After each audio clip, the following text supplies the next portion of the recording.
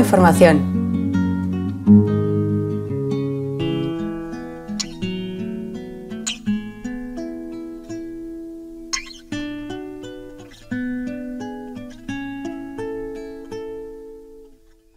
Iván Ramírez Barrios es experto en desigualdad, cooperación y desarrollo por la Universidad Complutense de Madrid.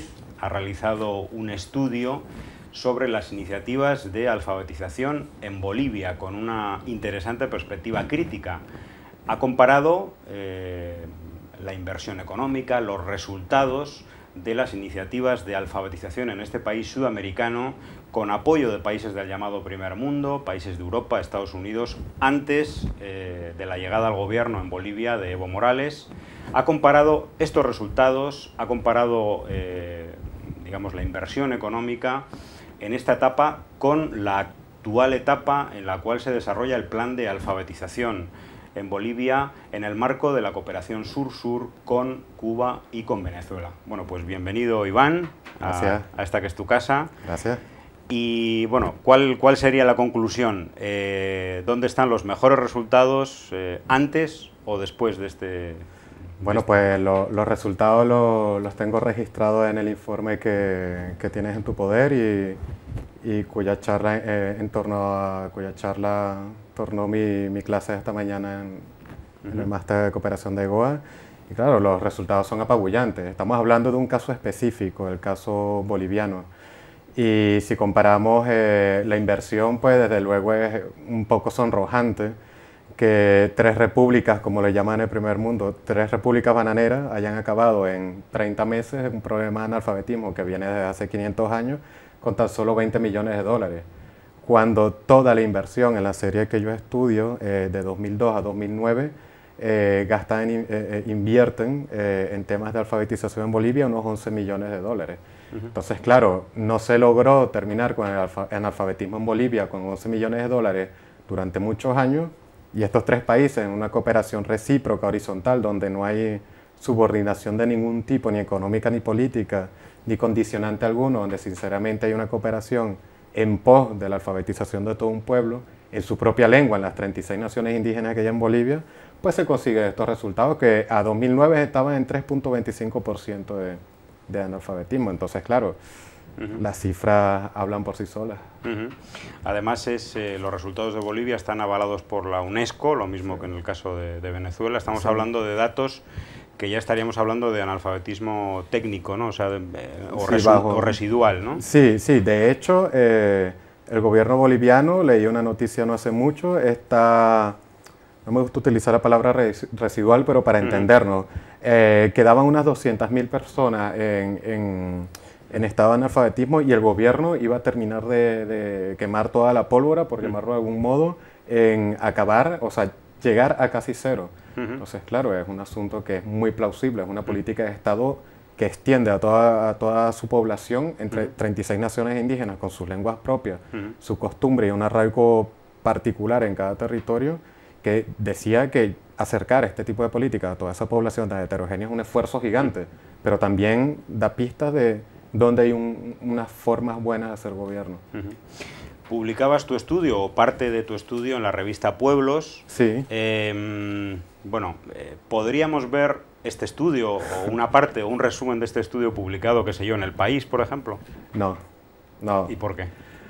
Pues bueno, eh, por ejemplo, cada vez que doy este tipo de charlas en foros de personas que más o menos están sensibilizadas con este tema, es para darte un ejemplo de cómo está el entorno en el Reino de España respecto al manejo de las informaciones que pueden ser de interés social aquí.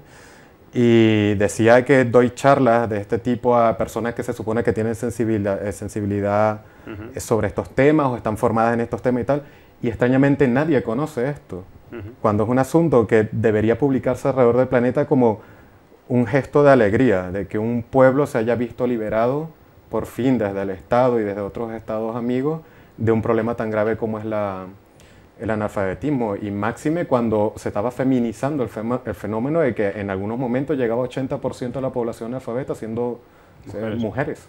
Entonces, ese, ese, tipo de información me parece extraño que no se vean los medios tradicionales de comunicación en el Reino de España. Y desde luego, si es la tendencia a lo largo de la historia y el tipo de cobertura además y los contenidos que tienen estos medios respecto a Bolivia, a Cuba y a Venezuela ni se diga, pues no esperaría que, saliera nada de esto, desde luego. Eh, bueno, explícanos un poco cómo ha sido este plan de alfabetización en Bolivia, cuáles han sido los actores principales, el papel de Cuba y de Venezuela. Bueno, pues esto es una historia un poco larga, pero resumiendo, eh, Evo Morales asume su poder en enero del 2006. Eh, en el mismo enero se va a La Habana, eh, firma unos convenios con la República de Cuba, entre los cuales en el punto 7 se habla del apoyo cubano total y restricto a todo intento de alfabetización o intento de extender política educativa a, a, toda la población boliviana. es muy recíproco el convenio, es muy bonito. Eh, luego en febrero empiezan a llegar los primeros brigadistas cubanos y cubanas, llegaron 24 específicamente para formar a los facilitadores y facilitadoras en, en, el terreno. En marzo se hace una prueba piloto eh, donde ya participa solamente personal venezolano, cubano y mayoritariamente boliviano. Se abren unos cuantos puntos y más o menos unas mil personas participan en el plan piloto. Funcionó y en, eh, e, en, ese mismo mes de marzo se generaliza el asunto. Los cubanos y cubanas, venezolanos y venezolanas que participaron en, en, la diagnosis, el pilotaje, se retiran paulatinamente y se quedan para labores de monitoreo de vez en cuando. Y eh, la población boliviana y el gobierno boliviano se apropian totalmente de, de, este, de este plan. De hecho, el gobierno boliviano fue el que demandó la ayuda a Cuba y a Venezuela. Entonces, eh, tenemos como actores en esta cooperación triangular, que hay gente que no le gusta que se hable de cooperación triangular cuando los tres actores son del sur. Yo soy de la corriente que piensa que sí, porque un triángulo tiene tres vértices, ¿no? Está Cuba, eh, Venezuela y Bolivia. De manera recíproca y horizontal se asociaron. Entonces, Bolivia recibe fondos de Venezuela. Eh, recursos humanos de Venezuela Mm, también personal de Cuba y Venezuela y Cuba, eh, de Cuba recibe eh, las cartillas, los monitores, eh, los aparatos VHS, personal y, las placas solares. y las placas solares, por supuesto. Además de algo importantísimo, la operación Milagro que se extendió a todos los usuarios y usuarias del Plan Nacional de Alfabetización. regalaron gafas, o sea, facilitaron las gafas a todas aquellas personas que tenían problemas de la vista.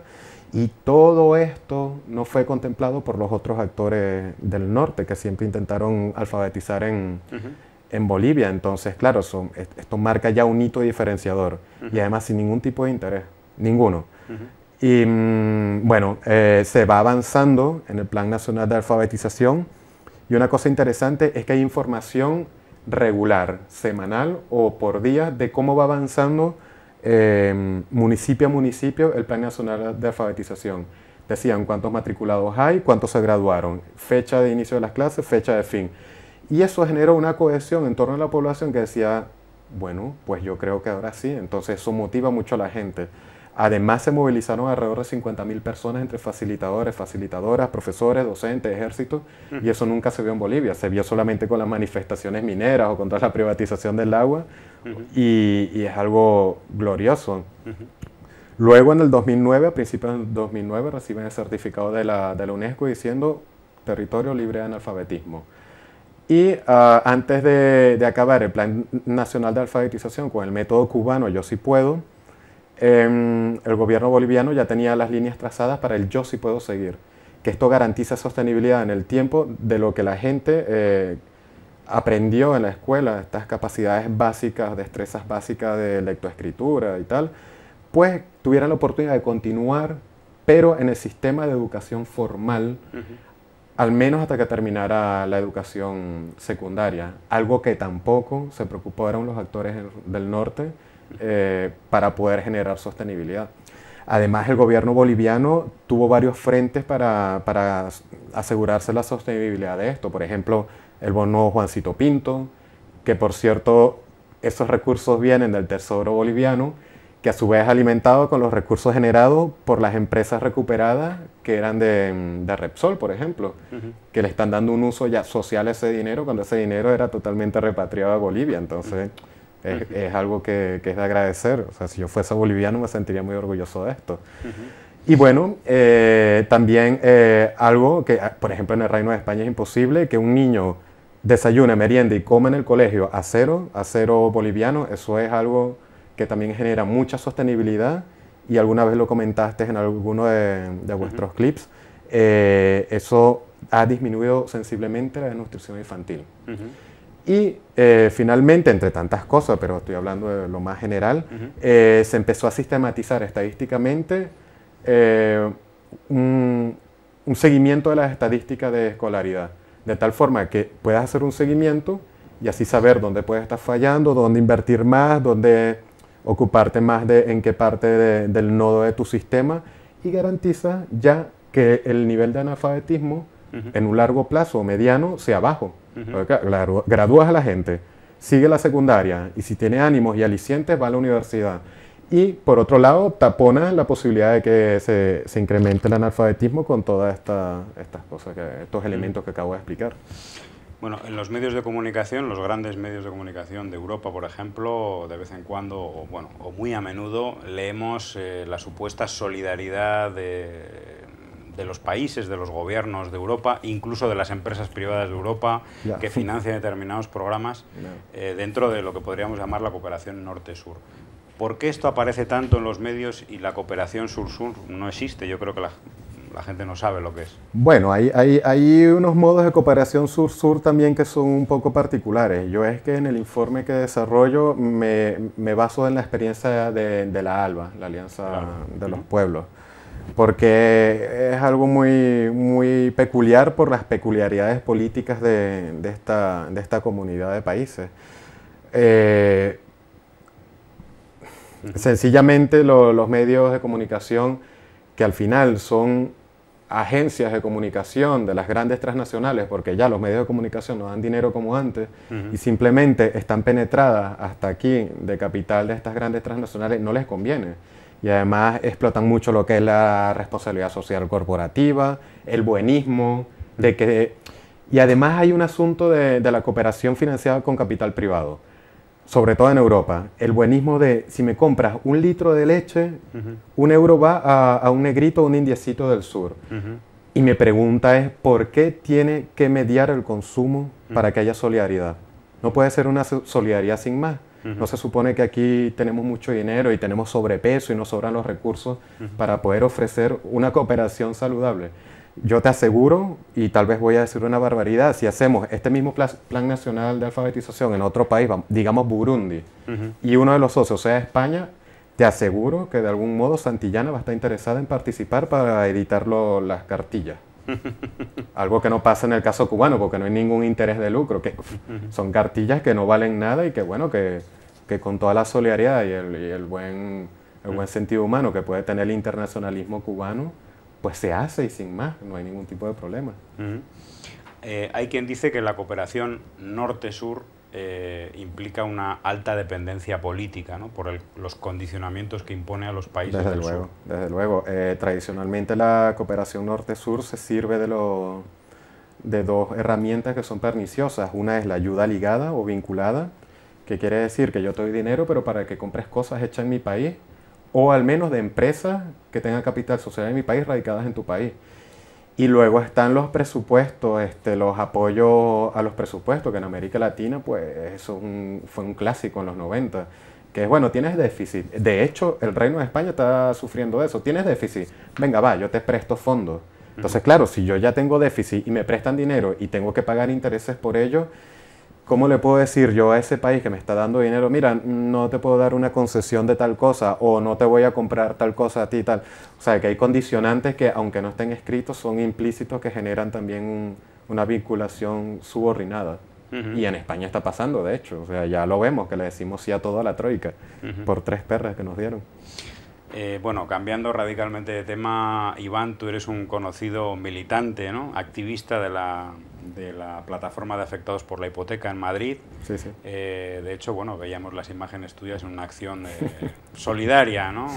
una acción en, el Congreso de los Diputados. Eh, ¿Cómo va, en qué participas en, esta organización y, bueno, cómo, cómo, estás viendo esta, esta corriente de lucha que está surgiendo sobre todo en el sur de Europa?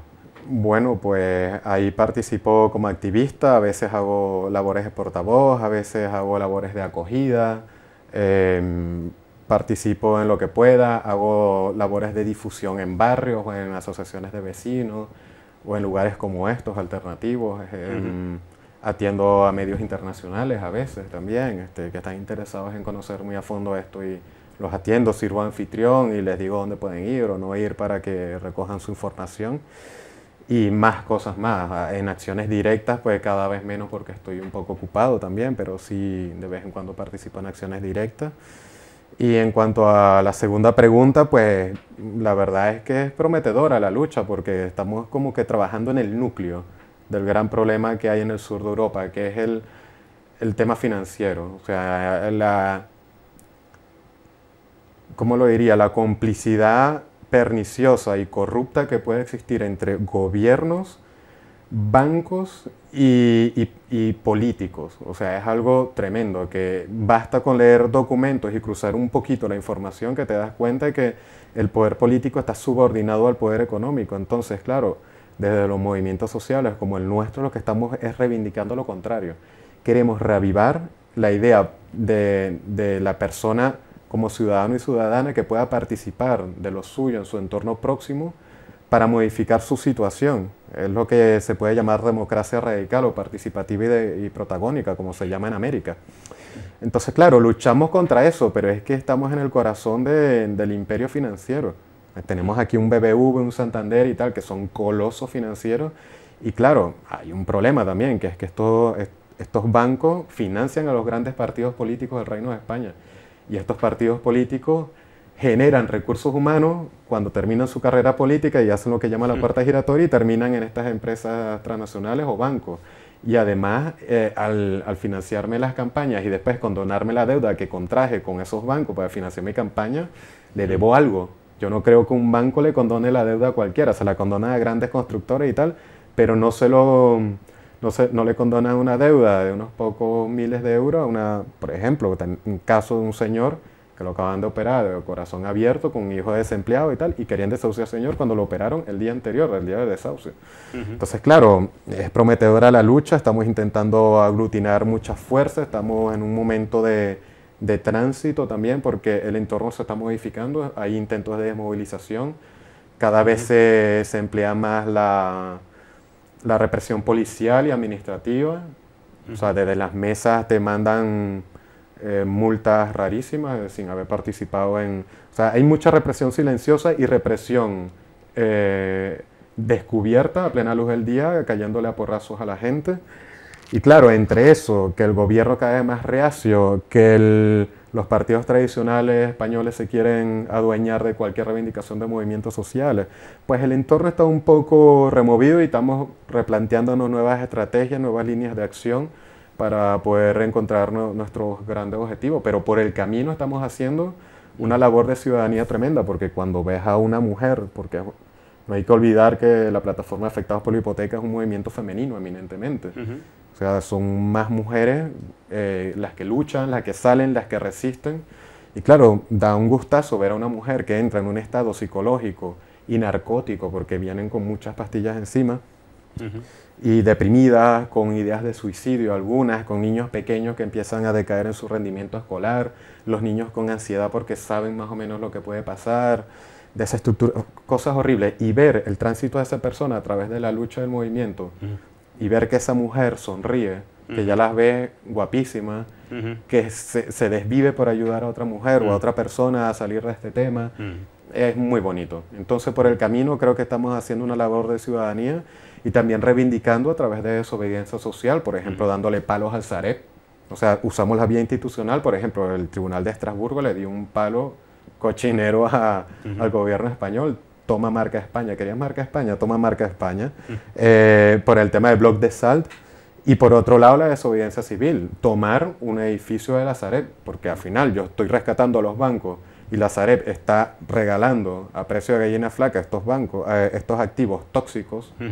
Pues mira, eh, la Sareb puede hacer una labor de, de, vivienda social, o sea que el Estado puede coger a la Sareb, quiero decir, como un agente inmobiliario público para tener un parque social muy amplio en todo el Reino de España, de tal forma de poder intervenir en el mercado inmobiliario de vivienda y que la gente pague precios módicos, aunque no sea propietaria, pero que tenga derecho a una vivienda digna y ya está. O sea, desintoxica sí, todo eso y tal, pero ponlo al servicio de la población, no al servicio de fondos buitres, que es lo que está pasando ahora.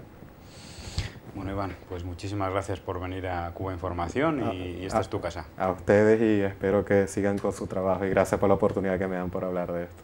Gracias. Gracias.